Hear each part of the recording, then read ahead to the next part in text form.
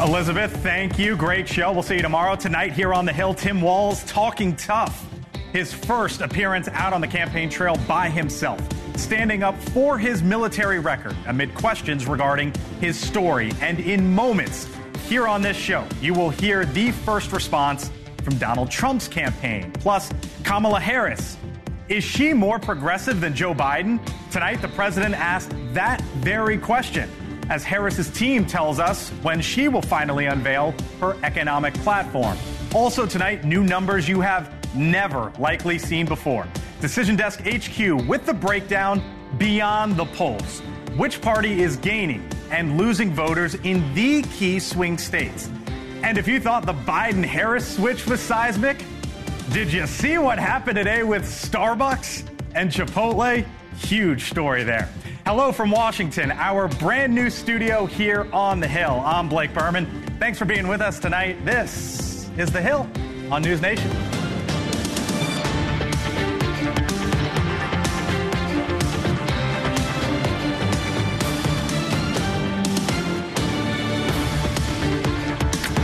All right, come on in to our studio. New one on the hill. Same show, new set as we are just 84 days until November 5th. Tonight, for the first time, Tim Walz defending his own honor. Kamala Harris is vice presidential candidate in his first solo appearance talking to union members in California. And he did not dodge the issue that has raised questions about the sincerity and veracity of his own military service. I'm going to say it again as clearly as I can. I am damn proud of my service to this country, and I firmly believe you should never denigrate another person's service record. To anyone brave enough to put on that uniform for our great country, including my opponent, I just have a few simple words. Thank you for your service and sacrifice. Now, here are the facts as we know them. Walz served 24 years in the Army National Guard, first enlisting as a kid. He was just 17 years old. In early 2005, he began to run for Congress. Walz officially then retired from the Army National Guard in May of that year. And two months later, his unit learned it would soon deploy in the war on terror to Iraq. However, questions about that timeline have followed the former congressman turned governor throughout his entire career. For example, military.com reports in part, quote, Walz retired two months before his unit received official orders for a deployment to Iraq in 2005. Though it's possible, they say, Walz could have known a deployment order was imminent because he was in a senior enlisted position. Now, those ambiguities have now forced uncomfortable moments upon the Harris campaign. For example, last week it had to update Walz's service record on his biography, as there were questions about his official rank when he retired. The Trump campaign, via Senator J.D. Vance, who served as well, has accused Walz of quote unquote stolen valor. When Tim Walz was asked by his country to go to Iraq, you know what he did? He dropped out of the Army and allowed his unit to go without him. Now, tonight, Walz is trying to put any and all questions to rest. Joining me tonight here on the Hill, Mick Mulvaney, former Trump White House Chief of Staff, News Nation contributor as well. Scott Bolden, former chairman of the D.C. Democratic Party, News Nation political contributor. Erin Perrine is a Republican strategist. And Kurt Bardella, Democratic strategist, News Nation contributor as well. Hello to you all. Nice to have you all in. First time in this new studio. Yeah. You're uh, you've, you've been here time. before. Second I'm a time. veteran now. It's veteran. It's just good to, the second time. Caroline Sunshine from the Trump campaign joining us any moment when that happens. We will put the questions before her. Mick, you've known Tim Walz well. You Yeah. served you served with him in Congress, I believe. What about him having to come out today to defend this? What did you hear there? And do you think it is smart for the Trump campaign to go after him on this issue? Uh, it's the first time I've seen that timeline laid out like that. I'm trying to reconcile that with what I've heard from other folks, people that have served with Tim Walz that said that they thought what he did was appropriate, and people that have served with Tim Walz that say they thought what he did was inappropriate. I'm sort of struggling with what the facts are. Welcome to the 21st century when it comes to We try, we try to lay it out there. That's and exactly you know, right. So, you know, my gut is knowing Tim is that Tim is not the kind of guy that would lie about this. But facts are facts, and I want to know what the facts are. There's other information out there where he says that you know he was at Bagram Air Force Base. Well, was he there as a member of Congress, or was he there as a, as a member of, uh, of the Army National Guard? It- stolen valor is a big deal. It, it just is. I think we all agree on that.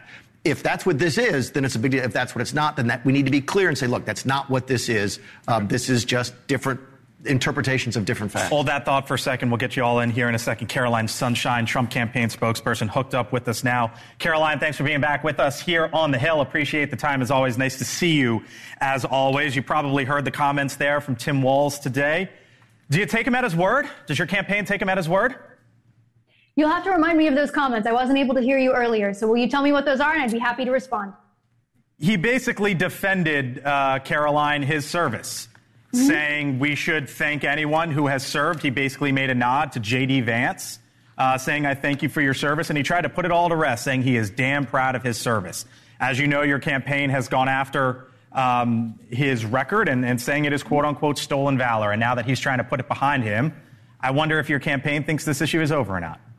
Yeah, well, it's not just us that's saying that. It's actually, I believe, Tim AWOL's former battalion commander. And look, actually, J.D. Vance addressed this over the weekend on the Sunday shows, um, and he addressed it better than I ever could, obviously having been somebody who served himself in uniform and one who actually did deploy to the Middle East when our country asked him to do so, rather than stepping down to run for office like a career politician like Tim AWOL's. But I'll say this, you know, this is that the, the nickname issue. you're going to try to hang on him? I've, I've heard you say it twice now. I think it's fair. I, I think it's fair. Uh, Tim, you know, when he was asked to answer our nation's call to service, he chose not to deploy and he chose to step down and run for office. And where I take issue with that and where a lot of Americans take issue of that is that that's not what we ask of our men and women in uniform. And where I also take issue with it is that Tim Walz stepped down right before his unit deployed during the 2005 troop surge in Iraq. Many members of his battalion did deploy. Many of them were under 21 years old and actually gave their lives. So I do take issue with that. I do think it's a dereliction of duty. But I will say, this isn't about uh, a record of service. That's not what it's about. JD Vance, as I said, addressed this over the weekend. It's just about honesty. It's about it's about integrity. It's it's an honesty issue. It's not a record of somebody's service issue. And Tim Walz has repeatedly misrepresented that. And he's a career politician this, who chose to step an, down and run for office rather issue, than deploy with his unit. Uh huh. Is this an issue that your campaign will continue to pursue? I think it's an issue that's important to the American people. And I don't think we have a liberal mainstream media in this country that does a decent job of uh, holding those running for office, especially on the Democrat side, to account. I wish the liberal mainstream media would have Tim Walz and Kamala Harris sit down to address this on the record, hold a press conference, do a sit down interview. I don't think any of those things are happening soon. So this is fair game. I think it's an important point that speaks to somebody's integrity, to somebody's character. It's important to the American people. And if it's important to the American people, our campaign will keep talking about it. Let me ask you about where the race stands, Caroline, because it is, it is unquestioned if you look at the polls that this is a different race now than where it was a month or so ago. Swing state polling Michigan, Pennsylvania, Wisconsin. It shows Kamala Harris leading Donald Trump. Uh, our DDHQ polling average shows uh, Kamala Harris up one nationally over Donald Trump. Why is that the case as you see it? Well, I think those are a series of polls, but I would also point to other polls like that from CNBC and Rasmussen and Trafalgar that I think actually have a little bit of a better record of predicting, predicting accuracy in the polls. I think a lot of those polls that you're seeing, those pollsters should have been fired in 2016 when they got it fundamentally wrong. So what we're seeing is the opposite, that President Trump actually is leading in battleground states. And that is because President Trump is on the right side of all of the issues that are most important to the American people, which no matter that the Democrat Party has changed its nominee, the facts remain. The issues most important to the American people are immigration inflation, and the economy. And they trust President Trump most on those issues. And they don't trust somebody, a flip flopper like Kamala Harris, for example, in Pennsylvania, who has said in the past she wants to ban fracking once and for all, now flip flopping on that position. That also speaks to integrity. That also speaks to somebody's character. President Trump said it best in Pennsylvania just a couple of weeks ago, actually, when he said this election is about fake, fake, fake versus fight, fight, fight. Caroline Sunshine, Trump campaign spokesperson. Uh, thanks for being back with us here on the Hill. Appreciate the time. Talk to you soon. Thanks for having me. You got it. All right. So I, I, I heard you laughing, and I know why, because you're going to talk about integrity and Trump. So we'll get there in a second. it's like you were a Jedi or something. No, I knew, I knew where mind. you were going with that. Um, is it smart, yes or no? I, is it smart for them to go down this line? Because now they're trying to stick a nickname. Here's the risk that they run. If they're wrong, it, it backfires. That they're right to say that the media is not going to do it. That I agree with. There's not that many networks talking about it. It's us and maybe one other that's actually talking about it. Everybody else is trying to shove it under the rug. So they're right to pursue the issue. But if they make a big deal out of it and they're wrong, it may backfire on them. I think that Senator Vance did a really good job on the Sunday shows over the weekend saying we're not trying to dishonor his service. That's not what we're doing here. What we're talking about are the facts of his service and what are perceived embellishments of that service. That's completely fair to litigate. And I think VP to VP, that's a good place for them to be. That, that it shows that Vance is being the fighter that Trump needs him to be. Let him have that fight with Michael Waltz. We don't need to have but the rest in, of the campaign do it. But inherent in raising the question is an attack on his service. Don't Regardless of what you think, it is. Listen, tell me the lie. Tell me, tell me where the integrity issue is. Because if he, if he they've went to run had, for they've Congress, already had to change his. Yeah. They've already had to change his bio. There's questions about where he was. Unless you're going to prove him a liar, or that he purposely lied about something, or that he, as a human being, lacks credibility. So, then I don't think I don't think this dog of, is going to hunt. Some of this isn't new. The difference is. Yeah when you're running for Congress and when you're running for governor is much different than when, when you're running for Nick a heartbeat away from the presidency. Um, that I agree with. You, you, so you want them to make the integrity argument? Uh, I think that it's hilarious for Donald Trump, of all people, to make a case about integrity and truthfulness and credibility when this is someone who flagrantly lies and has at best a casual relationship with the truth on just about every every time he opens his mouth every press conference he has every time he answers a question he lies. And there's a big difference in knowingly saying something that is false mm-hmm. over and over and over again and saying something that is an embellishment. Like, I'm willing to go, like, maybe he embellished. Okay, like, I'll give you that. And, and, and he shouldn't do that. And he's correcting that. And that's fine. But for these people to sit up there and even in her response, she lied about him. She is saying he knew he was going to be deployed and left the service. That is factually untrue. That has not been proven. The timeline that it has not, been, it has not, not been proven. It's not been proven. And like the military, you go through the, the military, right? You go through the military.com article as I, as I read there and they sort of raise the, the, the question. They, they say, right? he, they say he could have done. Well, okay, he could is a no, very interesting question. But that that's but, but going out there here, and that's where people really do get in trouble. And this is a, a rookie mistake by some candidates and campaigns where you talk in definitives. I can't tell you how many fact checks I've had to work when you use a declarative and a definitive, and you didn't mean to be as verbose as you were, but you have to backpedal because they'll slam well, you. Where's the lie, though? Let's say he knew that he was going to be deployed, and he filed paperwork to run for Congress either before or after he knew. Tell me the lie that means that people shouldn't vote for uh, the Harris team because he ran for Congress. He ran for public service. Tell me where the lie or the lack of credibility is versus a clarification or an embellishment. I think the argument there would be leaving his. The argument there would be leaving would be leaving the service. What, and, what's a lie about that? He left. Well, no, then, then it's not a lie. Then it's, a, lie. then it's another different. But so it's a different kind of character. him to go and be deployed versus running for office. Let me, as yeah, another form of public service. Let me ask both of you. Let me ask both of you this: You worried there's anything else out there with him? No. No. No. No, not at all. And this dog won't hunt either. I, I, don't think. I think it's a bad argument for the GOP to go down. They need to stick to the issues. And here's another way that they're on the attack about someone's record, and it, it it just it, it, it, doesn't matter. I think it's, I think it's legitimate to raise questions. I think where they get in trouble is they always go just one step too far with the character assassination. Sir. The question is, is this the last thing to come out about him? The answer is nobody yeah. knows because mm. the level of scrutiny, there, there, are people sitting in their basements right now right, on both the right and the left going through every one of these candidates okay. with, with history with a fine tooth comb. All right, still to come here on the Hill. You see numbers all the time about the changing landscape of the 2024 race, but I'm going to show you some that you have likely never seen before. I, I, think I'm decently confident in saying that, and how it could be the key as well to the Keystone State. Plus, now we know who is speaking when at the DNC. Are Barack Obama and Bill Clinton getting a bigger moment than Joe Biden? We'll share the schedule, and he is only 18. Yet he's probably one of the most well known teens in this entire country. Barron Trump. Could he be an X factor in the election? Mick Mulvaney has some interesting thoughts on this one. We'll, we'll ask him about it later in the show. Might he be in the Oval if Trump wins? You're watching The Hill. Stay with us.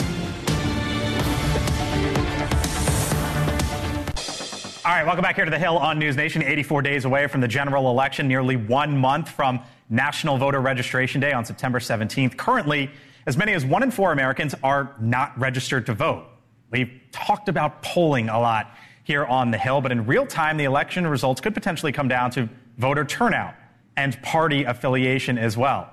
Joining us now, Scott Tranter, Data Science Director at Decision Desk HQ. What's up, my man? Good to see you. We talk numbers all the time. You folks put out some numbers that I found fascinating, and I wanted to tick through them with you real quick. These are voter registration totals over the last four years. So basically, voting day uh, in 2020 to now. And let's start with the state of Pennsylvania. You can see in Pennsylvania, Democrats have lost roughly 330,000 registered voters from then until now, though Democrats still have about 350,000 more registered in that state. Let's go to Nevada. Again, Democrats have lost 80,000 registered voters compared to about 23,000 among Republicans.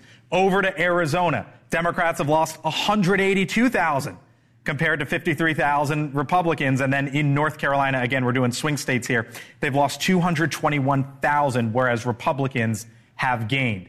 What's going on here, Scott? So the big takeaway here is people don't like parties, right? They're moving to other. And let's Is that define what it is? People people want to move to other. Other is basically, hey, I'm going to vote for Republican, Democrat, or maybe someone else, depending on who it is. I no longer identify with this party. Now they're moving a little bit faster away from Democrats and Republicans, but the big takeaway is most people are like, I don't like any of these guys. Right. I'm going to be independent. Um, let's put up the Pennsylvania numbers because Favorite state. it, well, favorite maybe most important. Yeah. Right? Um, so Democrats have lost 320,000 voters for Republicans, or at least no uh, party affiliation. Uh, let's put up put up the other one um, because this shows the changes over time. Republicans basically flat, uh, and it's been a big shift for Democrats. What does this mean in that state? Well, this means that every vote counts, right? So last time Joe Biden won the state by about a point and a half, two points. We think that state's going to be that close as well. So that means a couple hundred thousand votes can determine who wins Pennsylvania.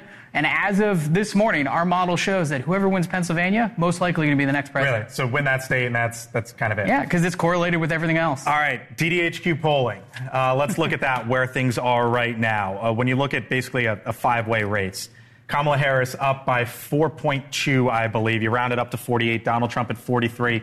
RFK Jr. at 3. What do you see there, Scott? What's going So on? So, what I see is a sea change. We were having this conversation a month ago. It was much closer with Donald Trump either tied or ahead in the average. You know, Kamala Harris really coming on strong. The other thing, Robert F. Kennedy, we had this discussion a month ago. He was at seven or eight. He's really fallen off the table there. Scott Tranter, Data Science Director at DDHQ. Scott, hello from, uh, or thank you from over here at the Curve Wall. Thank you, sir. Talk to you soon. Thank you. All right. Bardella, Perrine. We went through the numbers there. Democrat, Republican. Ladies first. What's your takeaway there? I think there are a couple of things that need to be looked at there. One, you need to look at states like Pennsylvania and North Carolina because a lot of people can register there without registering to party. So there are a lot of independent voters that are coming on board now in some of these key swing states. That's the persuadable voting block we're always talking about when it comes to who you're pitching your message to. And if you're a Republican and you're seeing some of these numbers right now, if I am the RNC or the campaign, I'm going to start putting rallies in those cities and start building events around them to use them as voter registration events. So, um, we'll, we'll get to Florida in a second. Um, but are you worried about this? Because I just went through hundreds of thousands in, in several states. Now, granted, in, in Pennsylvania, it still, you know, leans Democrat on, on the voter rolls, but you, see that? Does it concern you? It doesn't because I think that if the race had stayed Biden and Trump, I think that would be incredibly concerning. And I think what we've seen in these numbers is a byproduct of the dissatisfaction that we had really with both top of the ticket candidates. That's why there's so many jumps in the independents or the decline of states or the non-party affiliates. That's why those numbers are up through the roof everywhere. Is that going to get pinned on her, though? Because you could make the argument, right? There's demographics, people move during COVID, but I wonder how much of that is. I saw the administration and maybe I'm going Well, somewhere else. What I'm more interested in is the numbers that we're going to have between July, when this announcement happened that Kamala became the top of the ticket, through the fall. And everyone knows that in campaigns, the biggest voter registration pushes happen in the fall after Labor Day. That's when you're doing the most aggressive push where all the resources are going to identifying your voters, registering your voters, and getting them to do voter I hope contact. Democrats start identifying their voters in the fall. You'll be still far, far, far behind the game. It'll be great So for us. there was a big story today out uh, that Donald Trump's lead in Florida is, is just down to a handful, right? Yeah. And we found this instructive. So here's what's going on in Florida, right? If you look at the, the actual total of registered voters, that's the context in all these states, like I just mentioned with Pennsylvania. In Florida, look at the bottom there. 5.3 million, give or take, Republicans, 4.3 million, give or take, Democrats. So no matter what the polls show, that's the climb for Democrats in, in the state that you know well? Well, you know, it's really fun because Democrats, the Florida Democrat Party put out a release about these numbers saying, oh, well, there are about 866,000 Democrats that are inactive on the voter rolls but can vote on election day. So for Democrats, they're saying that these numbers are much tighter than they are anyways just because of inactive voters. And so, yes, this will be a tight race. It's not going to be the 19 points DeSantis won by Yeah. uh, mid, mid-cycle years. Looking at 22 is different than 24, but those numbers are tighter, even according to the Democrats. So, of course, the race is going to Last tighter. word here. Hey, you know what? I actually agree with Erin on this. How about that party line? No, I, I, I agree. Florida is an uphill climb for Democrats. Florida is like this white elephant that Democrats Texas, have been chasing forever, Right. and it's not like they are much better Democrats. As a Democrat, much better served focusing. If you want to flip places, look at North Carolina. Don't look at Florida. You can say that with Republicans in New York and New Jersey. Yeah, yeah, oh, yeah. Trump has those I'm from. New But- York. We're not, we're not taking that. I wanted to show you those numbers because we, we focus on the polls all the time, right? And rightfully so. DDHQ puts that out. And it makes you think about how many voters there are, what the trends and shifts are. Anyway, still to come here from the Hill on News Nation. When is Kamala Harris finally going to unveil how much she might want to have you pay in taxes, for example? Are we getting closer to that answer? We just might be, and we'll share it with you on the other side of the break. You're watching The Hill. All right, welcome back here to the Hill on News Nation. Concern continues in the Middle East tonight about a possible imminent attack by Iran against Israel in retaliation for killings by Israel against terrorist targets. Now, President Biden asked about this today, saying in part, quote, we will see what Iran does. He adds that he is not giving up on preventing an attack. The U.S. and its allies are working to avoid Iranian action, warning it would dramatically destabilize the region. No one wants to see escalation. No one wants to see a wider regional conflict. So, you know, hopefully we don't find ourselves in a situation of having to employ those capabilities. Uh, but if we need to in the defense of Israel, we will. Joining us now here on the Hill once again, the Democratic Congresswoman from the state of Ohio, Shontel Brown. Congresswoman, thanks for being back with us here on the Hill. I wonder, um, as, as we watch and, and the world waits for what could come in the Middle East, what are you looking for in the upcoming days? Well, thanks for having me back, Blake. Um, I think, as we know, as it was said by the Secretary and President Biden, that no one wants to see um, this uh, conflict continue. I had a chance to meet with the families um, before the Prime Minister uh, gave his speech in Washington last month, and um, the pain that they have experienced is none other um, like nothing I can um, replicate or even express adequately. So de-escalation is the goal, and making sure that we free the hostages um, is the top priority, while also supporting Israel's right to defend itself. You, you are a, a Democrat and a, a strong supporter of Vice President Harris and her run for the White House. There was a story, Congresswoman, that caught my attention earlier today in Politico. This was the headline. It said, quote, progressives jostle for national security jobs under Harris.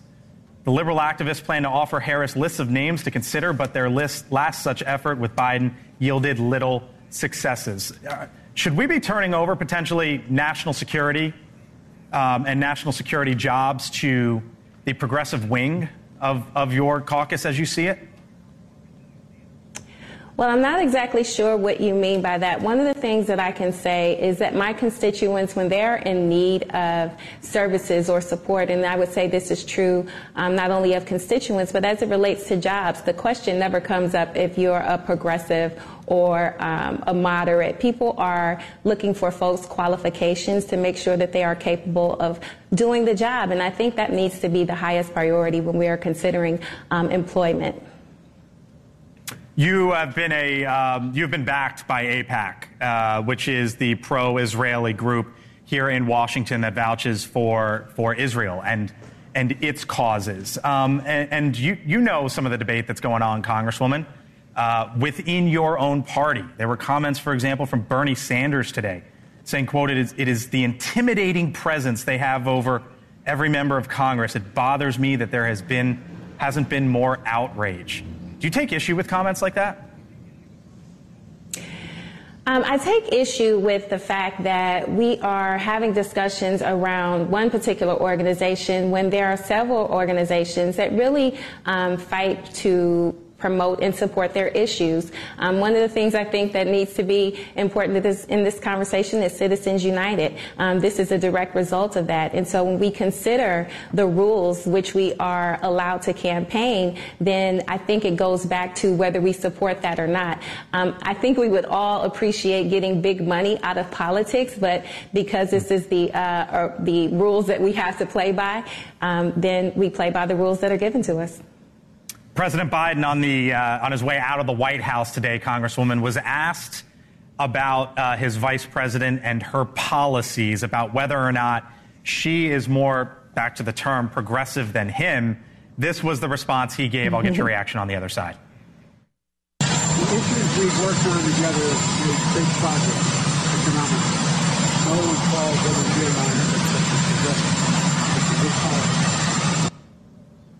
Maybe hard for you to hear there, but he didn't say yes. He didn't say Yeah. no. Basically, said they've worked together on policy. Uh, We're hearing, Congresswoman, that that that Vice President Harris is going to unveil her her major economic speech later this week, and and I wonder if you think more of that needs to come, and if so, when and how much. Well, I certainly don't want to get ahead of the vice president, but I do um, anticipate that, um, as I've said in the past, when it comes to policies and elections, they're about the future. But I bet I, I'd lean and say that the best indicator of future behavior is past behavior, and both she and President Biden have been successful um, with putting forth policies that have really helped improve the quality of life of all Americans, whether you're Democrat or Republican. When you consider the fact that we're making investments into the community around repairing roads and bridges, when we're capping prices of insulin at $35 a month and starting next year Do you want details, though, from her? Uh, senior. I, I, I expect that she will give details. I, I, suspect that, but again, I wouldn't try to get ahead of the president, uh, vice president, as it relates to her policies and plans. And I think it's important to note that she's uh, she's well covered by uh, a gaggle of press every, at every campaign stop. So I anticipate and expect um, that we will get more details as it relates to um, Vice President Harris's uh, policy plans and agenda. Shontel Brown, Congresswoman, Democrat from Ohio. Thanks for being back with us here on the Hill. Talk to you again soon, hopefully. Thank you. Thank you, Blake. You got it. Um, that story today, progressives jostle for, nas- jostle for national security jobs under Harris, caught my attention this morning. It notes that that part of the of, of your party, Scott, under under Joe Biden, under Bill Clinton, hasn't really been in that apparatus, and it seems like the pressure campaign is now just going to begin. Is there something wrong with being progressive? I'm not saying there is or isn't. Serve in in those security Although you were, you, he was shaking his head. I'm going to get to him in a That- second. your question to the congressman suggested that somehow progressives are unqualified to serve in these security. Oh, I didn't- I didn't- positions. I didn't suggest they were the unqualified. question. Well, you said should they be in these security positions, which begs the question. Are they? Is there something that's disqualifying about them because they want a ceasefire or because they have a certain view on foreign policy? At least it, it, it, it would sound like that. I think they have every right to apply for these jobs if they're qualified and capable. Then we ought to give them those jobs, despite their political viewpoints being on the far left. Look, they're progressives in the national security structure right now. I mean, Yeah. look at look at look at the, the protests by the State Department employees Mm-hmm. during work hours in front of the White House against the Biden uh, policy. Sounds like a former chief of staff No. talking. no, no. I mean, let's listen. They're progressives. This is we can have a larger larger conversation about the deep state, but sure, there are people in these positions already who have very progressive attitudes. You were shaking your head, though. Uh, I'm not. A, I I think ultimately the only thing that matters when you're looking at jobs of national security, defense, diplomacy, are you qualified for that position? Sure. Will you do the best job?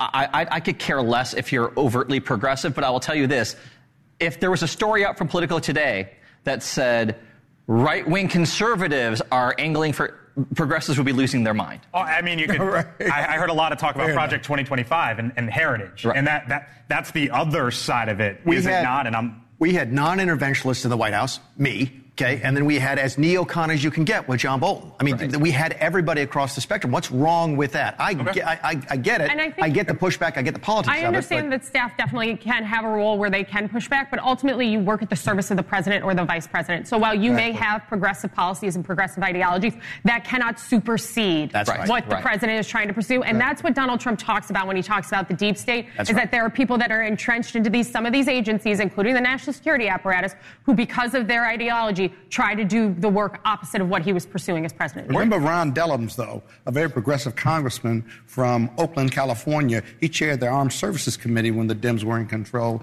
and he was as progressive as they could, and he got high marks for leading that committee and working with the administration. Where do you think she would be in the spectrum on foreign policy? I think she's going to be uh, right down the middle and if she's going to be a pragmatist because she has to be now that she's a decision. Yeah, I, I, I think with the ongoing conflicts in Ukraine and the Middle East, she has to be more pragmatic than ideological. Okay. Got it. All right, still but to come. Not an isolationist. All right, still to come here. No Mick Mulvaney. Mulvaney's probably set on that. Oh, Cheap shot as we head to the oh, wow. commercial break. He gets he, it as we go out to the break. trail, but speaking of Mulvaney, he's going to give us his thoughts on Barron Trump. What's going on with Barron, and what possible role could he play?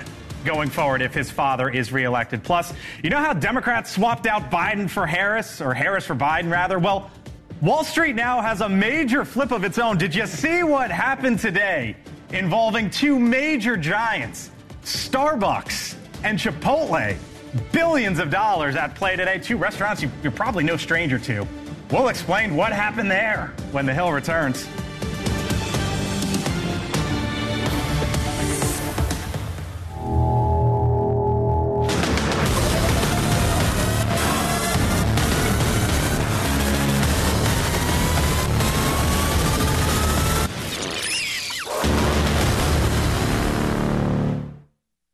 You see what happened today with two of the biggest brands in the world? Starbucks swooping in to steal Chipotle's CEO, sending the stocks in complete opposite directions. Starbucks was up over 24% today. Keep in mind, this is a $100 billion company, while Chipotle, again, a massive company, dropped over 7%. In all, you can have a market cap swing here of give or take $27 billion. We hit, for context here, $4 billion in total ad spend in the election today.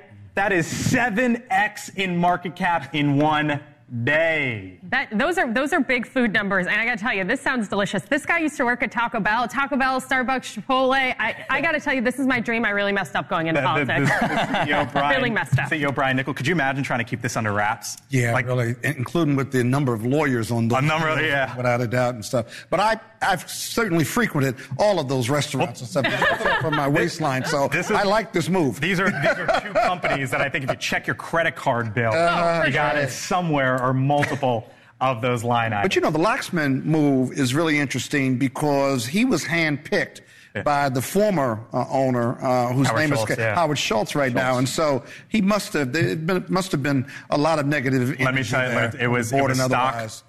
Otherwise. Yeah, over, they weren't the growing. Their numbers. You know that I used year. to be a competitor to Chipotle, right? I didn't. You know oh, well, you used to own you used to own restaurants. Yeah, Mexican, Mexican South Carolina. I for Chipotle. So I loved it when they did poorly. Did you? Go, did you what was it called? Salsaritas Fresh Cantina. You can still eat at one of the Charlotte Salsaritas. Really? Salsaritas. Ah, count me in. There you go. Mulvaney, We're going with Nick. Mulvaney regales us with uh, chief of staff stories during the commercial. we got to get him on social media at some point. Too, but there you go. Now we learned something new about Nick. All right. So one of the issues uh, that has been a big deal for the for the White House and and now really for Kamala Harris is grocery prices, right? Speaking of food, with polls consistently naming that a top issue and showing uh, that many voters used to blame President Biden for soaring prices. It was one of the topics that Donald Trump and Elon Musk, for example, discussed on X last night. The thing that they really is making them angry is what Kamala and Biden have allowed to happen to the economy. It's a disaster with inflation. The inflation, it yeah. doesn't matter what you make, the inflation has eaten you alive. But has there been a shift? Recent poll, which asks voters who they trust more to handle the economy. Look at that number. A dead even split. Harris up one. She's not being blamed for the Biden inflation issue and that poll, and watch for more to come. Uh, and if I was the GOP, I'd be concerned about that. One, is that a one-off? Do you think is that a moment in time, or at the end of the day, are people going to go in a voting booth and be like, "I remember what happened"? No, I think that you have to remember that for the better part of three years now, billions of dollars have been spent defining and tying Joe Biden specifically right. to inflation and the economy in this country. Well, he country. tried to do it himself, Bidenomics, right? Like, yeah, that, which we all know how that turned out. right. Uh, so no matter which end of the spectrum you were of this, it, it, had nothing to do with Kamala Harris, frankly, in terms of the messaging and the amount of exposure that it got. That's bleeding over right now in a positive way for Kamala. I mean, normally it wouldn't be great if well, the vice president wasn't really a part of that economic issue at all. But in this case, it's actually a positive with the voters, at least right now. Where's the worry for you? Listen, the economy is something that Republicans should do well on. Uh, this is one poll. If we start seeing more, it's, it's got to be more than just a one-off. It's got to sure. be a bit more trend-worthy for me to start getting worried. But this is something I said very early on when Kamala was now installed as the nominee was that they needed to be tying her to the disastrous Biden policies and they needed to do it quickly. It needed to be the border, it needed to be the economy, and that polling is showing they might have so missed it. Mulvaney sent me a text yesterday and he was and you were like, I think this is a big deal. For exactly the reason Erin just mentioned. This is going to be the number one issue in the in, in the election. It usually is, and it's supposed to be a place that Republicans should be up five or ten points. Yeah. By the way, there's no way this has anything to do with her position on the economy, though, because right. she doesn't have one. Right. She's going to be giving that speech on Friday. That's exactly right. This this is about this is an overall sort of feeling about the race. So it doesn't surprise me that it's sort of tracking the other numbers. But what, what what's really interesting even more is that the American voter in all of this polling has said they didn't want Trump or Biden to run, and Biden has stepped aside. What you're seeing, I think, is Kamala being that new face, that new voice,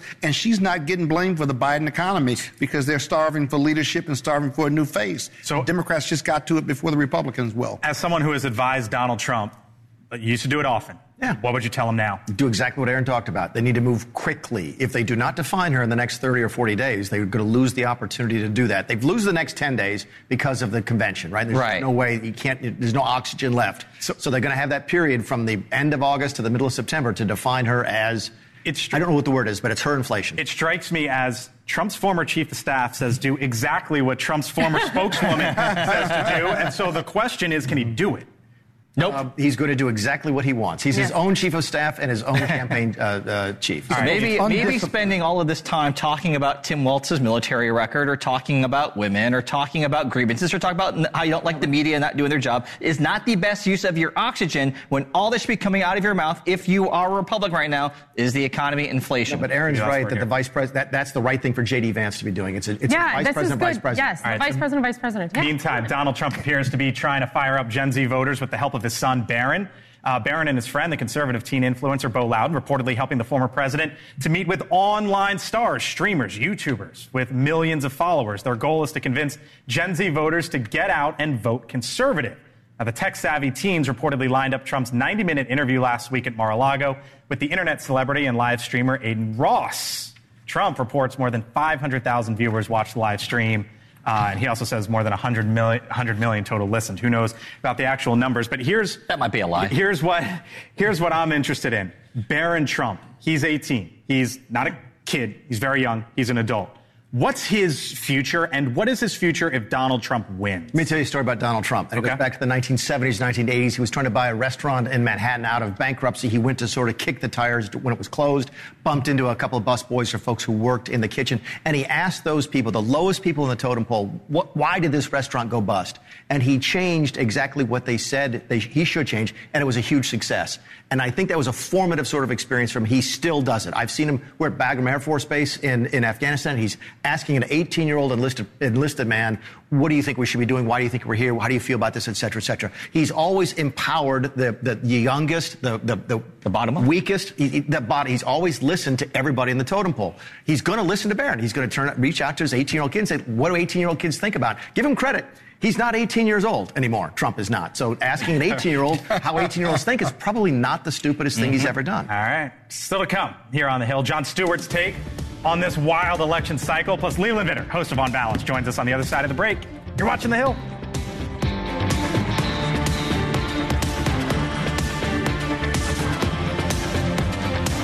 All right, welcome back here to The Hill. So, Donald Trump is seemingly having a hard time of letting his old rival go, claiming at rallies and on social media that President Biden will try to get back into the presidential race at the DNC.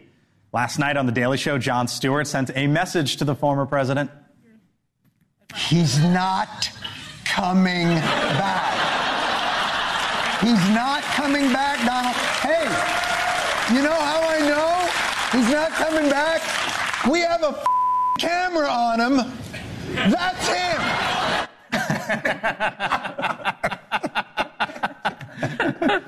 Trump posted this video on X yesterday showing clips of Biden tripping and falling downstairs and showing his old polling numbers against the president. Why is Trump still doing this? That's a little distraction, a little fun, just a little bit of chaos.